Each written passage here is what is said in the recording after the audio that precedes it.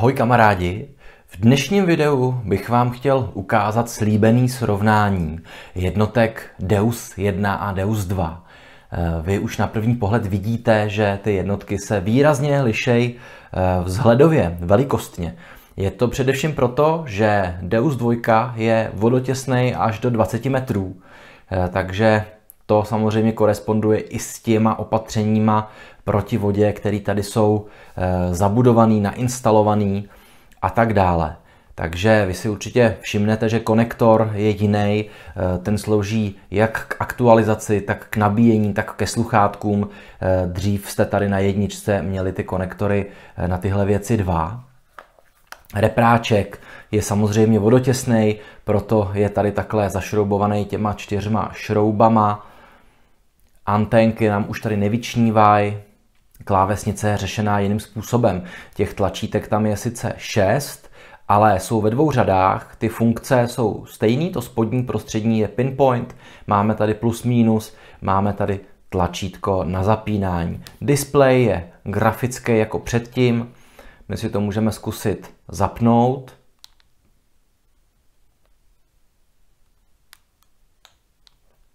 Tak.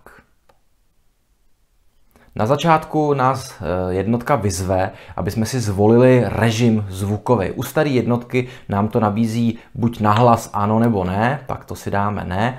A u nové jednotky máme na výběr daleko víc věcí. Máme tam bezdrátový sluchátka, repráček jednotky, eh, sluchátka pro vedení zvuku skrz eh, spánkovou kost a normální drátový sluchátka. Takže my si můžeme vybrat třeba taky bezdrátový sluchátka. Ty se nám teďka v krabičce nejspíš zapnuly. Možná se můžeme podívat, ano, jsou zapnutý. A teďka eh, první věc, kterou uděláme, je, že snížíme citlivost na nulu, aby nám teďka nelítaly eh, falešní signály, protože jsme doma. Samozřejmě potom na tu citlivost se zpátky podíváme, podíváme se na všechny jednotlivé vlastnosti, na ta jednotlivá nastavení. Takže na začátku se podíváme, projdeme si kompletně volby. Jo?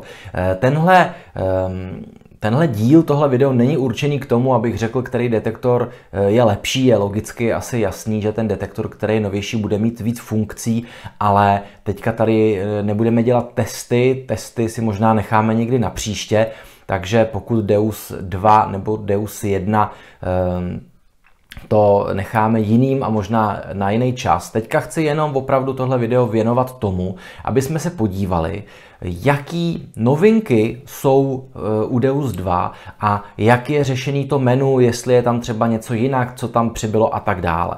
Takže první si projdeme volby, potom menu a pak ladění země. Tak, volby. Když stiskneme volby, zarazí nás eh, na první pohled samozřejmě, že celý to rozhraní eh, je jiný. Jo, nahoře máme zvýrazněný to, co je zrovna vybraný, tady to máme zvýrazněný černě. My vidíme, že tady u Deusu u jedničky žádný audio není. Tady jo. A to proto, že Deus 2 má spoustu nových funkcí, které se týkají zvuku. To tady vůbec není, takže to si dáme na chvilku stranou a projdeme si ty možnosti tady. Dáme si zvolit a za prvé si můžeme zvolit normálně hlasitost, volume, Eh, jsme upozorněni na to, že jsme překonali 85 eh, decibelů, podobně jako u telefonu nebo u nějakých přehrávačů. Zároveň si ale tady můžeme tímhle tlačítkem cyklovat, do kterých jiných zařízení se nám ten zvuk pouští, takže eh, je to v podstatě ta stejná volba, ty stejné možnosti, které jsme viděli na začátku. Repráček, kostěný sluchátka, drátěný sluchátka, bezdrátový sluchátka. Jo? A u každého si pak můžeme štelovat to volume. Další novinkou je tady equalizer. Do něj si zase vlezem zvolit. Tady tou šipkou se přepírám, přepínáme mezi jednotlivými táhlama a pluskem a mínuskem si můžeme volit, jestli chceme e, posílit basy, středy nebo e, vejšky. E, takže to se hodí například těm, kdo máte nějaký jiný sluchový preference nebo neslyšíte třeba dokonce některé tóny nebo některé výšky, nebo vám re, repráček, máte dojem, že vám něco ten repráček zkresluje a tak dále. Vy můžete mít nastavený nějaký ekvalizér a můžete si ho vypínat a zapínat, jo, takže pokud chcete mít uloženou e, nějakou pozici, tak prostě ten ekvalizér vypnu, budu to mít, jako bych na to nešahal, pak ho zapnu a mám tam zpátky tu svoji uloženou pozici. Jo? Takže tohle to je úplně nová funkce, já to vrátím zpátky, tak odejdeme. Další nová funkce, která tam přibyla, je typ zvuku. E, ten PVM je zvuk, který znáte normálně z Deusu jedničky, ale přibyla tam teďka možnost Square. To je zvuk, který má trošku jinou modulaci. Vychází to eh, ze zvuků, který možná můžete znát třeba například z Mindlab Equinox nebo z Mindlab Vanquish.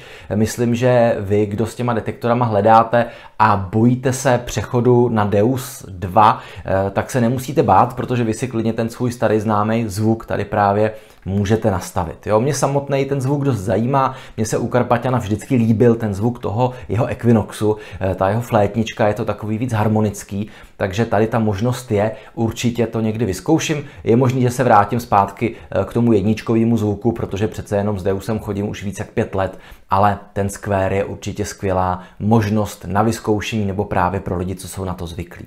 No a jsme zpátky uh, u výstupu. Takže vidíme, že jenom ta položka audio, která má několik tady těch položek, je uh, úplnou novinkou u Deus 2.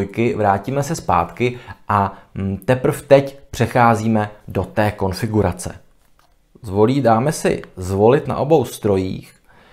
Tady máme vlastně věc, která se toho zvuku týká u jedničky. Repráček ano nebo ne.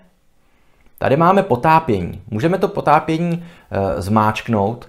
E, ono se to hodí ve chvíli, kdy jste už v nějaký hloubce, kdyby vám tlak vody mohl mačkat ty čudlíky, tak se vám vlastně klávesy úplně zamknou. Jo, na nic vůbec nereagujou.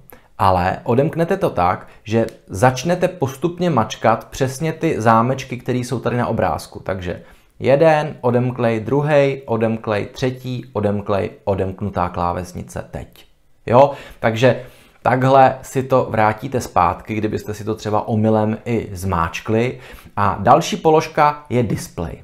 Ta má zase několik podsekcí, tak si do ní vlezem a koresponduje to s tím, co máme napsaný eh, tady na té jedničce. Takže podsvícení, ano, na pořád, nebo 120 vteřin, pak se to vypne, 60, 10, 3, podsvícení úplně vypnutý. Jo? Takže tahle ta položka je stejná.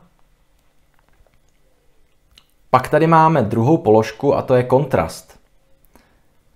Ten kontrast máme od nějaký, tuším, nuly do, co tam bude nejvyššího, nějaká devatenáctka, jo, devatenáctka, to bych asi nikomu nedoporučoval, co jsme tam měli původně, dvanáctku, že jo, tady možná ne, to ne sedmičku, šestku, šestku a tady byla pětka, že jo. Tak tam necháme, tak tam dáme taky šestku, tak to vidíme stejně. A pak je tady jas. To je položka, která u Deus jedničky chybí. To je v podstatě ta svítivost. My se teďka na to můžeme takhle podívat. Je to jas toho, jak moc ty diody svítěj.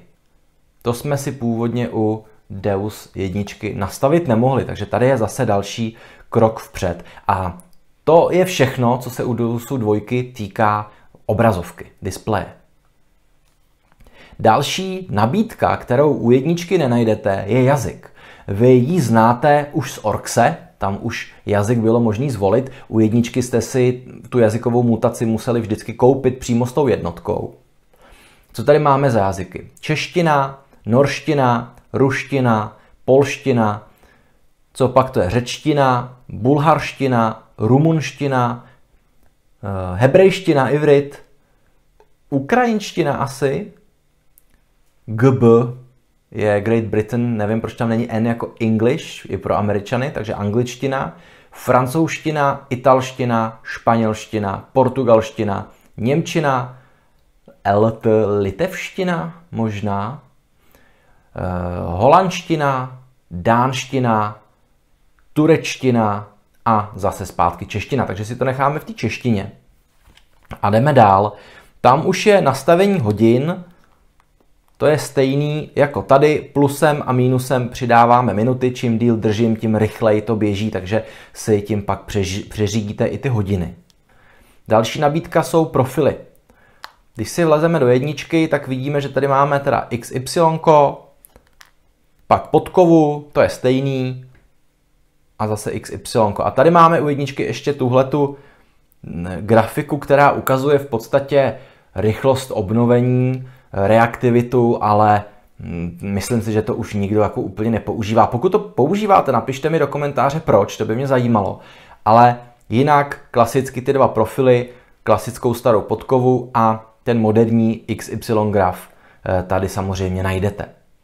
Potom na jedničce máme ID sjednocení, to se zavedlo kvůli vysokofrekvenčním cívkám, takže myslím si, že u Deus 2 to nutný kvůli multifrekvenci už není, že tam to ID je velice dobře už vychytaný, takže tuhle tu funkci už na Deusu 2 ani vlastně nepotřebujeme. A jdeme dál, pak tady máme Go Terrain, což je aplikace, která by se měla umět připojit k Deusovi, měli byste si tam umět eh, zaznamenávat vaše cíle, mělo by to měřit ID, možná, že úplně všude, takže e, vy si vytvoříte potom takovou heatmapu, nejspíš barevnou toho, co jste prochodili. Uvidíme přesně samozřejmě, co ta aplikace bude umět, to samozřejmě o tom udělám v budoucnu video, až bude. A máme tady e, auto a stiskem, takže manuální připojení a stiskem, tady máme taky push a auto takže tyhle ty nabídky jsou podobné. Pak tady máme frekvenci skenování, zase se to týká multifrekvence, buď můžeme mít automaticky nebo manuálně, to u jedničky logicky nenajdeme. Pak je tady aktualizace, to je pro potřeby aktualizace vašeho, aktualizace vašeho softwaru a informace o softwaru a o výrobním čísle, o sériovém čísle vaší jednotky a tak dále. To tady zase už u toho Deuse jedničky nenajdeme. Tak jo, takže to byla eh, položka konfigurace ve volbách. Vrátíme se zpátky. A co tady máme dál? Máme tady programy. Tam budou naše uživatelský uložený programy, nebo i skrz tuhle tu položku vy si můžete aktuálně nastavený program, co máte, uložit. To je stejný jako u jedničky. Pak tady máme položku párování. Vy si plusem, mínusem volíte, jestli chcete párovat cívku, jestli chcete párovat sluchátka, jestli chcete párovat jednotku. Jo? Takže klasický pokyn znáte. Párovat sluchátka, to u tady u Deusu jedničky eh, nebylo. Tady vy si můžete sluchátka odebrat nebo teda spárovat. Jak už jsem říkal, eh, sluchátka se zapínají automaticky s jednotkou. To vy skrz tuhle položku eh, start v tom párování těch sluchátek můžete změnit. Můžete si nastavit, že sluchátka si budete zapínat manuálně, stejně jako to bylo u jedničky. Jo? Kdo jste prostě zvyklí vypnout jednotku, vypnout sluchátka, eh, a zlobilo by vás to, tak si to samozřejmě můžete vypnout, to je za mě určitě velký plus. Já třeba jsem zvyklý, že si sluchátka a jednotku vypínám úplně zároveň, takže pokud by mě to zlobilo, tak si to můžu přizpůsobit. Ale samozřejmě dám tomu šanci a zkusím, aby to ta automatická funkce dělala za mě.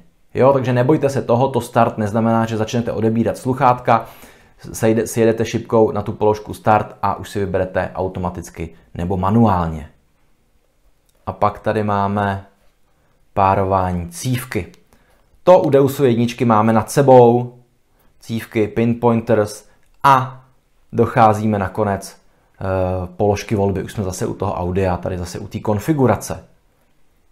Jo, takže tohle je velmi zajímavý. Tady vidíme, kolik už nových funkcí v té dvojce je. A to je, že se podíváme teda na nastavení nebo do menu, do těch položek nastavení u eh, například u toho prvního programu.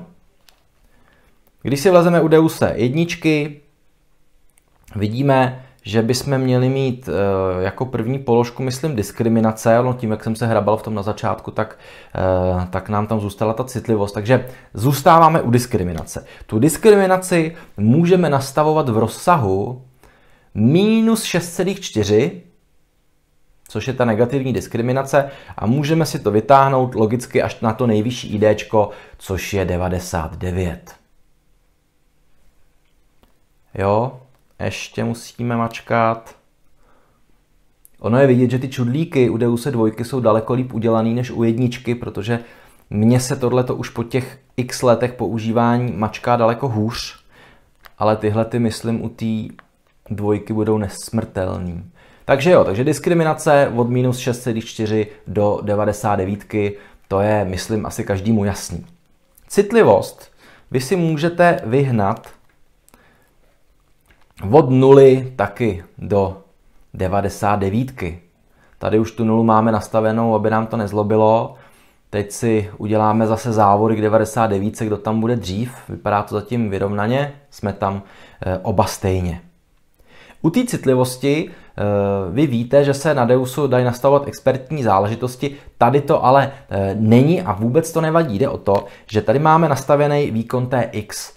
Můžete mít od nuly do trojky, Tady u Deusu dvojky, díky tomu, že má multifrekvenci, to není nutný, protože ten detektor je si myslím, natolik vyladěný, že on v podstatě ne, má tu největší sílu, ale díky té multifrekvenci a díky lepšímu ladění země už tam nemáte takový prozvuky. Jo, zatímco jsem viděl testy v terénu, ještě jsem nebyl, tak je to detektor, který je tichý, ale zároveň daleko silnější. Jo. Takže tohle, e, proto by vás, to by vás nemuselo rozhodit, že tady něco chybí, jo. je to proto, že některé věci není třeba, jako například to ID sjednocení, co už jsem ukazoval, není třeba v tom Deusu dvojce vůbec mít. Tak, jdeme na frekvence. Tady si můžete samozřejmě u Deusu jedničky volit frekvence. V multifrekvenčních programech u Deusu dvojky eh, si volit frekvence nemusíte, protože ty frekvence si detektor zvolí za vás z té škály, která tam je. A jediný, co tady můžete, je posouvat si frekvenci, abyste se nerušili s kamarádem, případně si tu frekvenci takhle automaticky proskenovat, takže to by vám mělo vyřešit všechny ty ohradníky, elektrické kabely, eh, kamarády a tak dále. Jo. Eh, dále tam máme hlasitost železa, tu můžeme nastavovat stejně jako u jedničky od 0 do 5, čili hlasitost železa úplně vypnuto, 0 anebo na max 5. Obnovovací rychlost u Deusu jedničky můžete mít eh, od 0 do 5 eh, tuším, takže si to zkusíme 0, 1 a koukám, že tady máme půlku, poloviční, půl jednotky, jedničku, jeden a půl, výborně, dvojka, dva a půl, ta je i na Deusu, jedničce, tři, a tady už není tři a půl, čtyři, to by bylo moc, to by už nebylo asi moc znatelný u takové obrovské rychlosti, ale jsem rád, že tady mám třeba tu jeden a půlku, protože les někdy chodím na jedničku, někdy na dvojku a něco mezi mít je ještě možná docela pěkný. Takže to je další novinka, kterou jsme teďka spolu objevili. V obnovací rychlosti u Deusu jedničky máte silencer. Ten máme u Deusu dvojky taky, ale trošku někde jinde. Další položka je odezva zvuku. Od nuly do sedmičky. To se nezměnilo.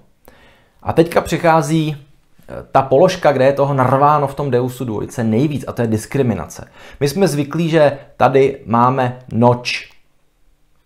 Viditelně hned eh, na povrchu, vlastně v tom menu, ten noč je skrytý u diskriminace. A u diskriminace, podobně jako tady, máme i další nastavení. Máme tady nastavení těch tónů. Máme tady dvoutón, trítón, čtyřtón, pětitón, pitch, a tady to je prohozený, full tóny 99 tónů, to se jmenuje už jinak, pak ten pitch a pak teda znova dvoutón. Jo, ten je tady samozřejmě taky. Pak tady máme novou funkci, pivní zátka, od nuly do dvojky. Lepší rozpoznávání pivních zátek. Jsem zvědavý opět na testy. Ten notch filter, který tady máme na povrchu v tom menu, tak ten máme schovaný právě tady v tom, v těch volbách té diskriminace. Pak tady máme taky ten silencer, ten už není od minus jedničky do trojky, ale od nuly do šestky, OK, takže ten silencer máme daleko víc rozškálovaný. A pak jsme zpátky u těch tónů. Ty tóny vy si samozřejmě nastavujete podobně eh, jako eh, u jedničky. Je tady trošku jiná ta tabulka, s tím se seznámíte. Eh, prostředním tlačítkem si vyměňujete, jestli chcete řešit výšku tónu v hercech, nebo jestli chcete měnit vlastně výšku toho vašeho breaku. tam, kde se vám na, tým, na, tom škál, na té škále těch IDček láme ten tón železo nebo středák, jo, nebo vysoký.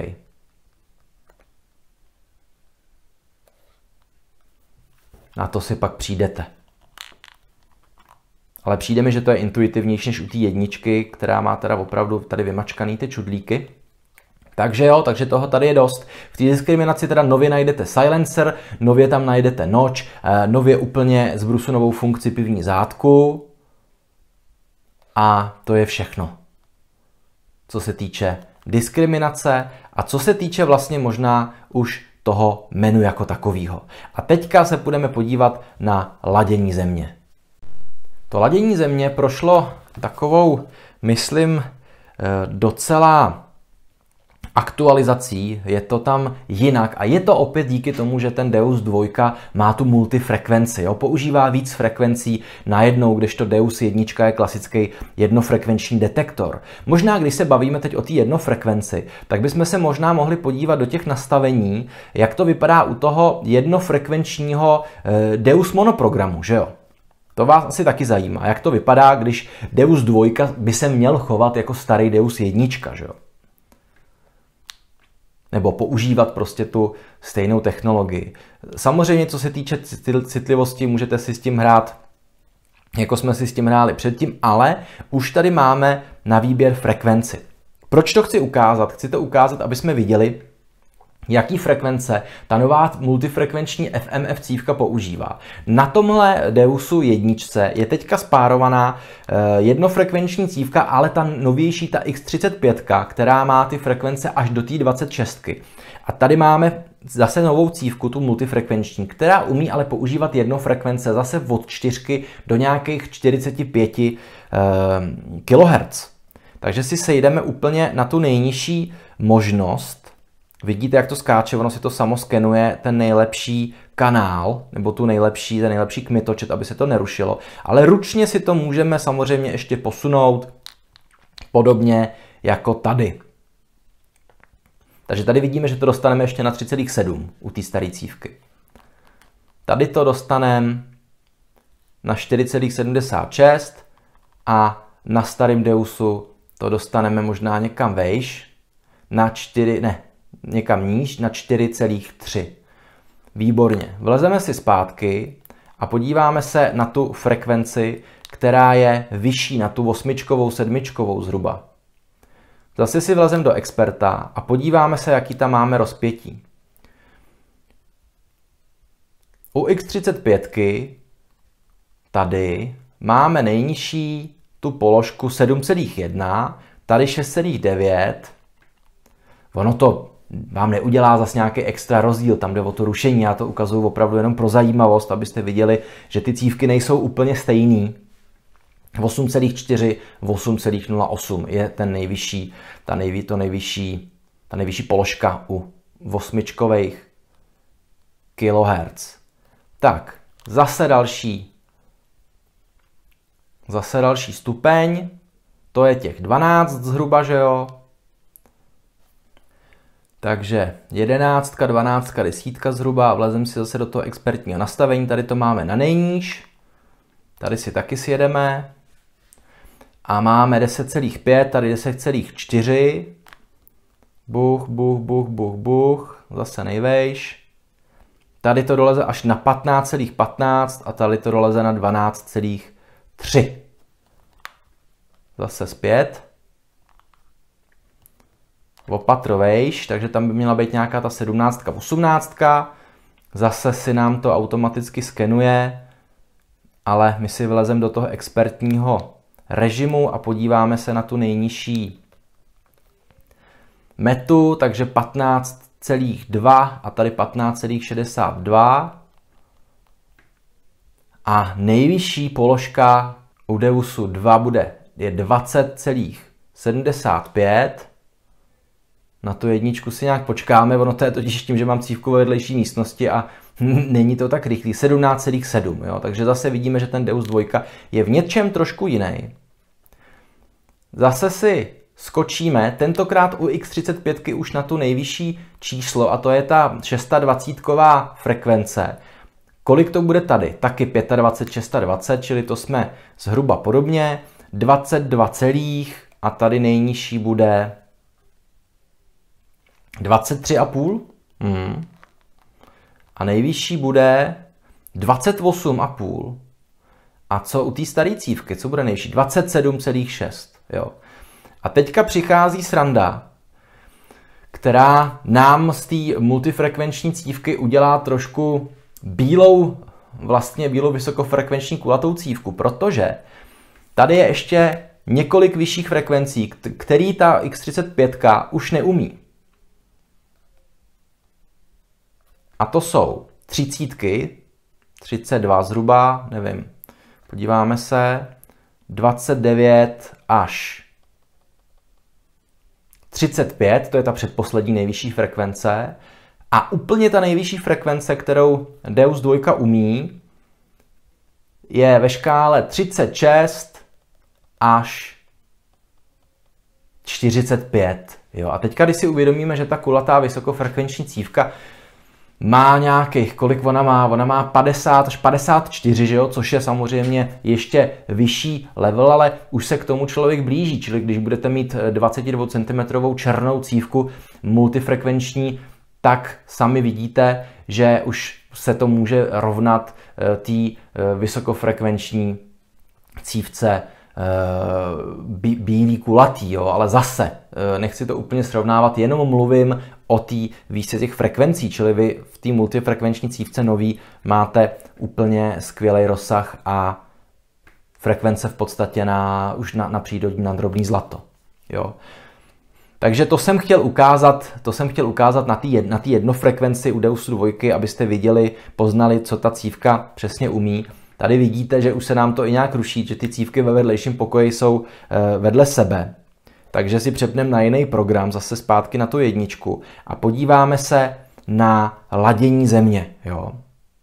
Jak už jsem nastínil předtím, tak ladění země u Deusu 2 má daleko eh, vlastně jiný dopad, daleko lepší dopad, eh, zajišťuje daleko lepší stabilitu právě kvůli té multifrekvenci.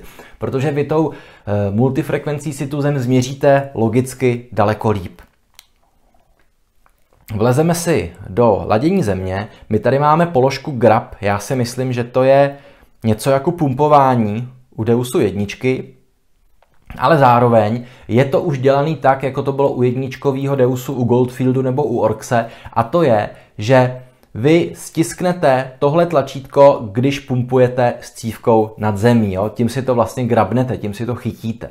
Potom tady máme položku sledování. Pláž tady nemáme, protože to se týká v podstatě plážových programů u Deusu dvojky. Sledování tady, jo, máme tady ano, ne, takže stejně jako tady, ne, anebo ano, tak to podobně máme i tady. Ten zemní noč už tam nastavitelný není. A manuální nastavení země tady taky není. Vy se můžete ale spolehnout na ten stabilita, stabilizátor té země, eh, který si můžete nastavit od jedničky do trojky.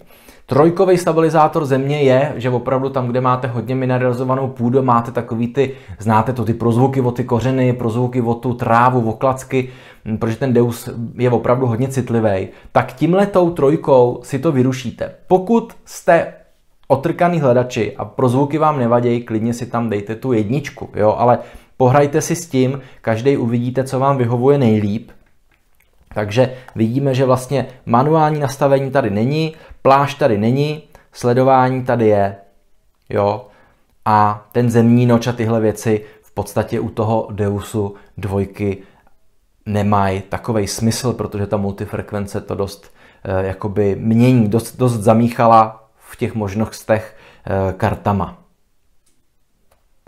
Takže jo, to je všechno. Ještě se můžeme podívat na funkci eh, Pinpoint, že jo, to je to tlačítko tady dole, takže když to zmáčknete, tak tam každý máte takový terčík toho zam, přesného zaměřování.